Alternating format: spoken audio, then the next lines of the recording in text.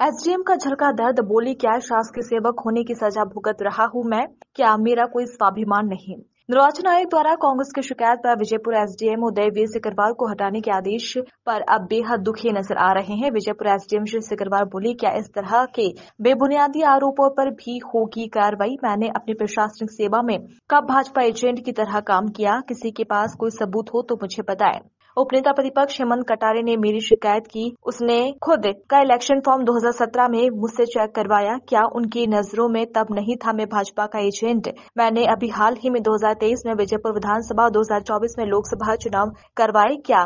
तब नहीं था मैं भाजपा एजेंट इन्हीं बेबुनियादी आरोपों पर तीन बार किया गया है। मुझे टारगेट और की गई है मुझ पर कार्रवाई। क्या मेरा कोई स्वाभिमान नहीं? भोपाल में हुई शिकायत पर बिना कोई जाँच किए मुझे कर दिया ज़िले से बाहर। कोई स्थानीय नेता बताए कि मैंने किसी पार्टी के साथ कोई पक्षपात किया। ये बड़ा ही दुर्भाग्यपूर्ण आदेश है।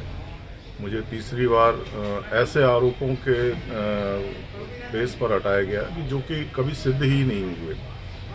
जैसा कि एक शिकायत करी गई थी, जिसमें ये कहा गया कि 2017 में मुझे अटेर से हटाया गया।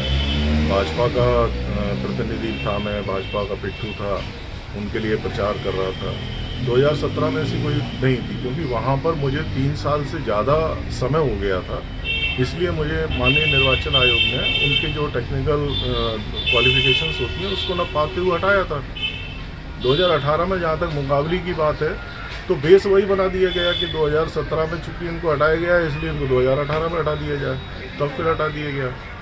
अब वही चीज़ यहाँ पर आ गई 2024 में, कि इनको 2017 में हटाया था 2018 में हटाया था, इसलिए बोले इनको यहाँ से हटाया गया। तो मुझे ऐसा लगता है कि जो भी जो शिकायत करी गई है तो किसी न किसी उद्देश्य को रखकर की गई है। और माननीय निर्वाचन आयोग को इस चीज़ की पूरी गहनता से जाँच करना चाहिए।